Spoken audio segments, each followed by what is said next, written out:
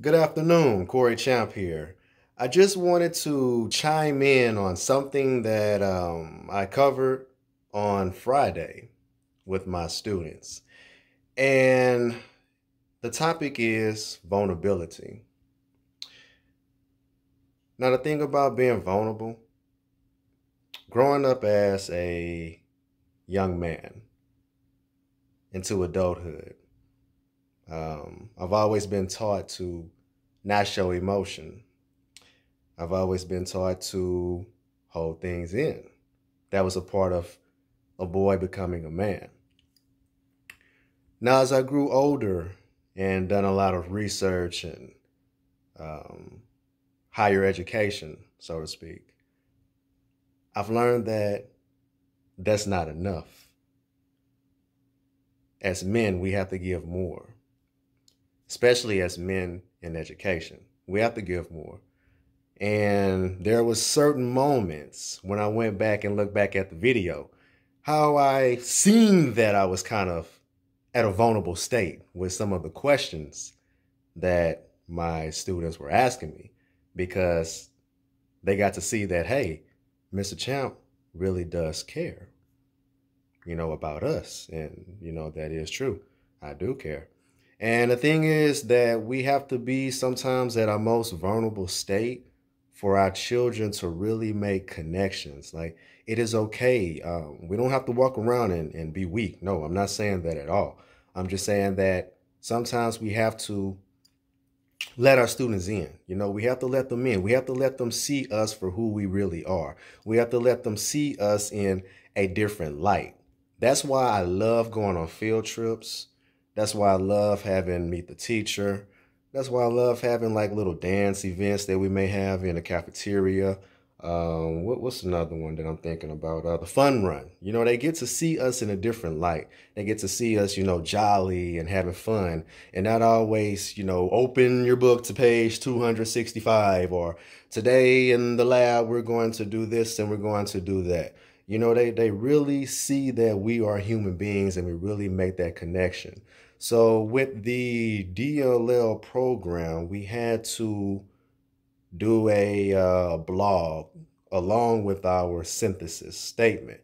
I decided to just go ahead and do another video vlog because it just is more um, personalized. Okay. And I just like to have a personal effect and approach towards my work because you really get the gist of it. You know, you really get to understand where I come from. And um, that's just something that was really on my mind. This is a quick vlog. It's not going to take a long time at all, but I just want to speak on being vulnerable. And, you know, it is okay because we have to let students see us for who we are. And that's one of the things about going into the unknown that I spoke about in a previous vlog because we're out there with no safety net. We're out there with uh, no comfortability, okay? Um, just trying new things, venturing out.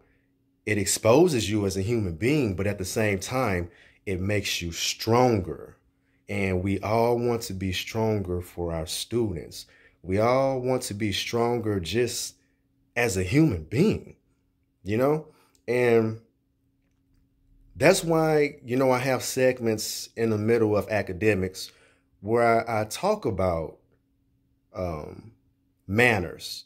I, I talk about being a responsible socialization type of citizen. Like we have to socialize, but we, we have to function. And if we don't have those certain social skills, um, it's, it's really hard to kind of build on your education as well.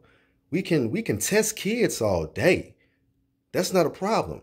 But we have to teach them how to be able to function in the world. We have to teach them how to be able to communicate with one another, how to work in small groups. You know, those things matter.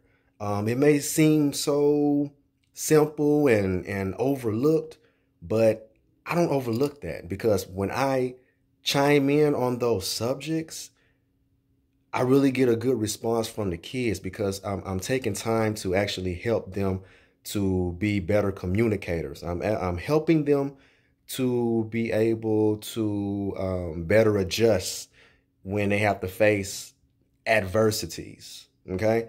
Um, so being vulnerable, I'm just connecting everything back together. That's all a part of being vulnerable. That's all a part of letting them see me and letting my inner light shine out, you know? Because I was once a kid also. And I remember, you know, how it feels when you don't want to be that kid raising your hand in the classroom to answer a question because you may be afraid that you may get the answer wrong and you don't want to get shown up in front of your friends. Like, it's okay. You know, um, that's all a part of being vulnerable because when you shock yourself and you actually do good, then you become even stronger. And um, I'm building students to be strong through academics. I'm building students to to be strong through socialization. I'm, I'm building students to be strong through just being a well-rounded individual, which will increase higher level thinking. Thus, the educational experience when they with me will be magnified and intensified and and they're going to get the best out of me that way they can get the best production to excel while they're with me for a school year and then that's going to go on and on and on they can see me five, ten years from now and remember the conversations and the things that took place. So, with that being said, it's supposed to be a short segment, so I'm gonna go ahead and wrap this up. Um, be comfortable with one another, you know? It's okay to be vulnerable. It's okay to let them see their teacher not in a suit and tie all the time. You see me with the Texans gear, you know, I'm about to go and visit some family and friends. It's, you know, it's okay. I am human. And they need to see me in different light.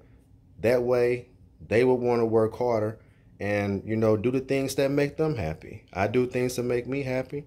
We do things to make each other happy when we're around each other. They have to be able to live without me holding their hand every step of the way. And that's why I'm building my students so they can be independent. Okay? I'm independent. I want my kids to be independent. I want my kids to be a reflection of me. So that's why I take the time out and I do the things that I do. So I'm going to go ahead and wrap this up. Uh, it was a quick little vlog segment for my master's program to tag it along with the other video that I just shot for Valentine's Day. Y'all have a good day. I'll see you on the next segment. All right.